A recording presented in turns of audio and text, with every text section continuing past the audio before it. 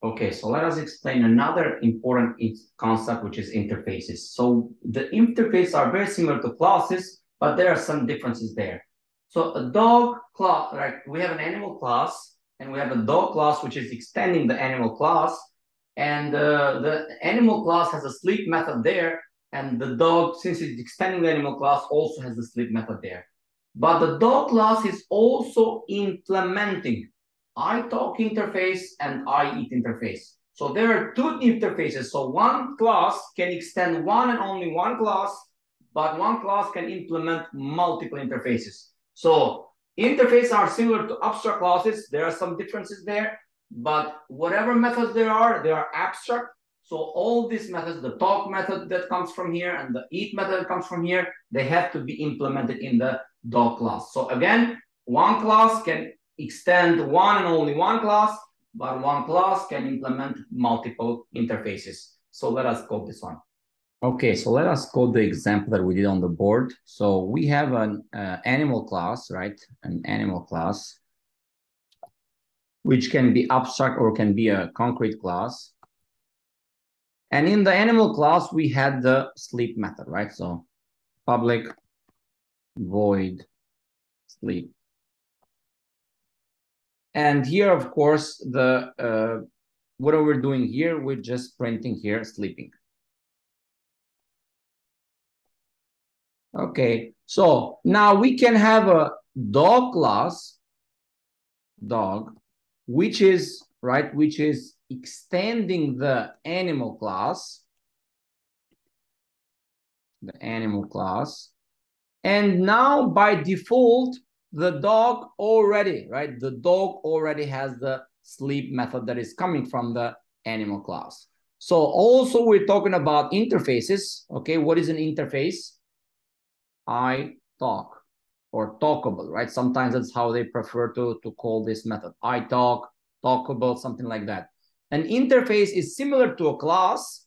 It's another structure which only has only has public abstract talk method. So you can only have, and of course, the return type void, you can only have, right, we can only have uh, abstract methods in an interface. We cannot have implemented like we have here in the, right, in the normal class or like we can have also in abstract classes. In abstract classes, we can have implemented methods or unimplemented methods. In the interface, we only can have unimplemented or abstract methods. So let me go to the dog class and let me say, you know what? This dog not only extends the animal class, but also implements, also implements the iTalk interface. So of course, if you're implementing the iTalk interface, you have to implement the methods that are there, right? That are unfinished.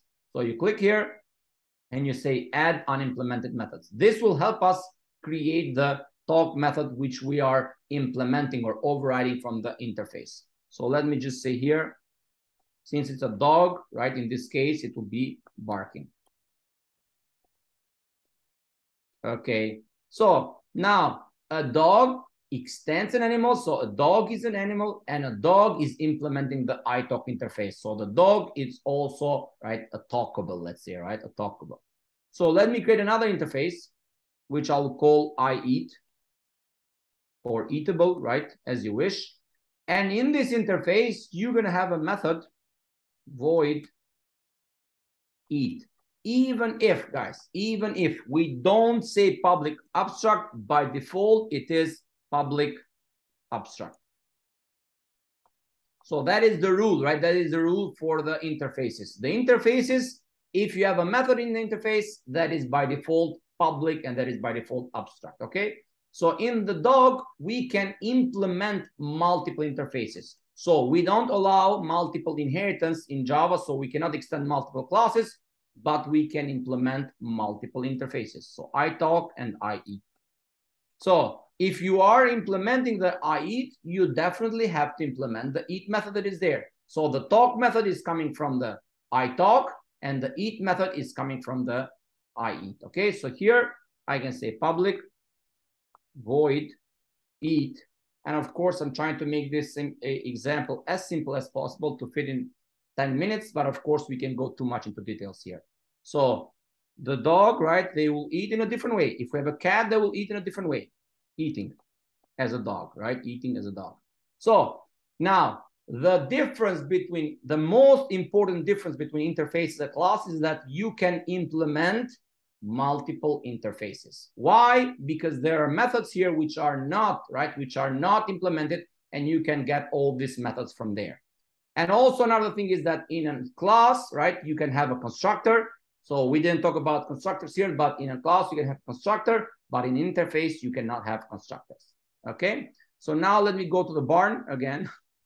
And let me have a barn class. And in the barn class, what are we gonna do? We're gonna create some animals there, some dogs there. So of course, as a homework for you guys is to create the, the cat the cat class, okay? Which will be implementing, right? Which will be extending from the animal and will be uh, implementing the talk and eat and maybe other interfaces that you want to create. So let me have here a main method. And in the main method, I can have an animal, animal A1. And in the animal, I can create a dog, right? I can create a dog. So I can create a dog and store it as an animal. Why? Because of inheritance. Since a dog is an animal, that's why I can create a dog and I can store it as an animal, okay? And then what are the methods that we can access from here? Even though that's a dog, the only method that we can access is sleeping. Why? Because that's the only method that the animal class has, only sleep. That's why the dog has the sleep method because of the animal, okay? A dog actually can also talk and eat, but we cannot call these methods because an animal here, this variable here is of reference, right? The data type animal. So that's why we cannot a1 dot talk is not possible. Even though that's a dog which is able to talk, a1 dot uh, eat, it's not possible, okay? So these two are not possible because they don't belong to the animal, right? Don't belong to the animal class. Now, of course, if, it, if we had a dog like this, we could do everything, right? Dog d1 is equal to new dog. Then, of course, we can make this dog d1 dot sleep. The dog can sleep. d1 dot talk. The dog can talk. And d1 dot dot eat. So a dog can sleep, can talk, can eat. But since it's an animal, right? We're talking about an animal. The animals can only sleep. We don't know what other things an animal can do. Now, since it's an interface here, right? Since animal is implementing the italk interface, then here we can say, you know what?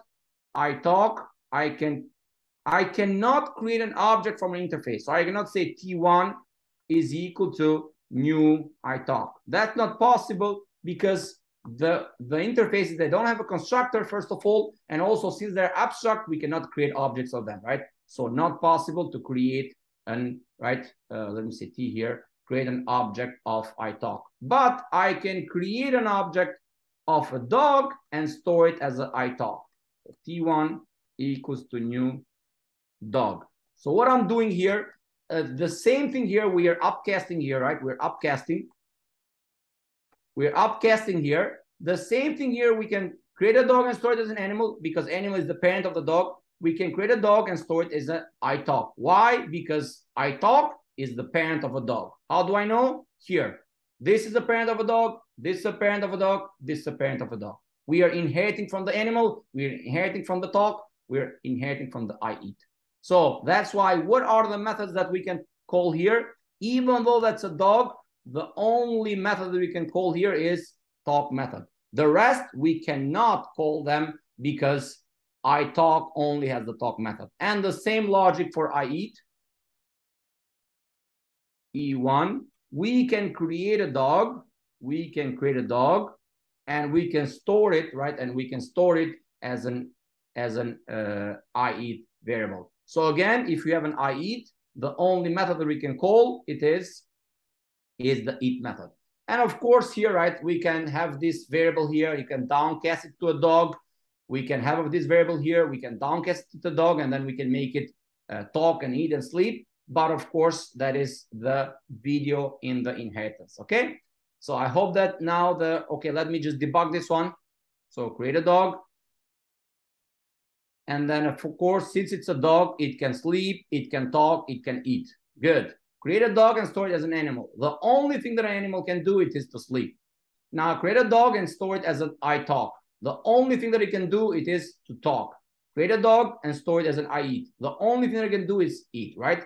So I hope that the interface makes sense. The only difference, right, or one of the most important differences is that you can implement multiple interfaces. Okay, see you in class. Bye.